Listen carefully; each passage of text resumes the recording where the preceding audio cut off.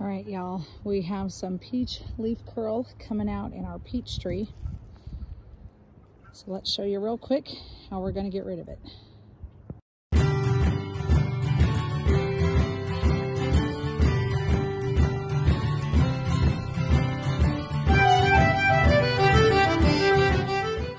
All right, so we've identified that we have peach leaf curl uh, coming out on the peach tree. It seems to be the lower leaves for the most part.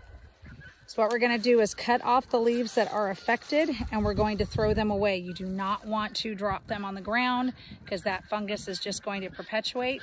So I'm gonna get all these leaves cut off, then I'll show you the next step.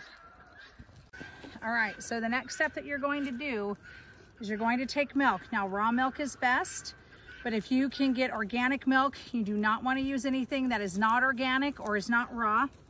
You're gonna mix it half and half, half with water, half milk and you spray the tree down. Now, once the tree's been sprayed generously, make sure it's really well fertilized. We have a whole bunch of our rabbit poop down here. This happened to us last year and we never had a problem again all season. We will um, do this uh, about every two months. And what this does is promote the good fungus and the good bacteria and keeps away the bad bacteria. Let us know if you have any questions. Thanks, y'all.